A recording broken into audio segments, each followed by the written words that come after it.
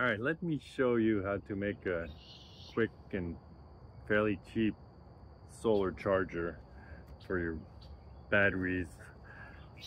So you need a solar panel, which I had this one, small one. This one is framed so it's easy to handle around, but you can have a flexible. There's some a lot of options to buy.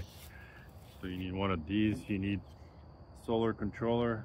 These are the cheap models. They're around eight or nine dollars on Amazon. It might be even cheaper on some Chinese sites.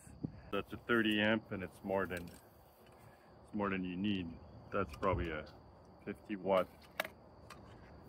So 50 watt, if you remember your electrical 50 watt, how many amps is that? On a 12 volt nominal, you divide 50 by 12, which is 4 and something, but it's 4 amps.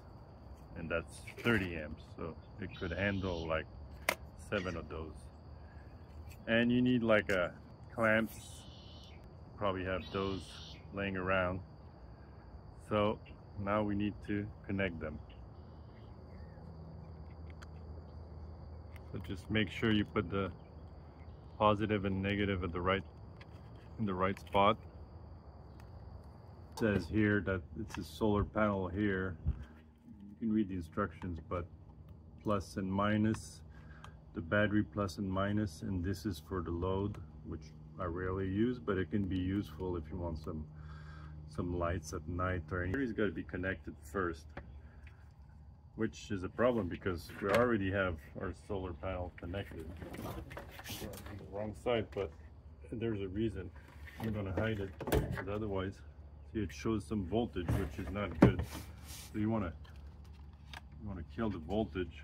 The reason being this is gonna dictate what voltage you're on because it could be 24 and it could be 12 I'm on a John boat so the idea being I just want to charge this without removing it from the boat so now you see the voltage 13.7 flip this over. So that's it. Now you have your charger and you can you can bring it around to cars like unused cars or or boats like me. So that's a little charger that's pretty handy.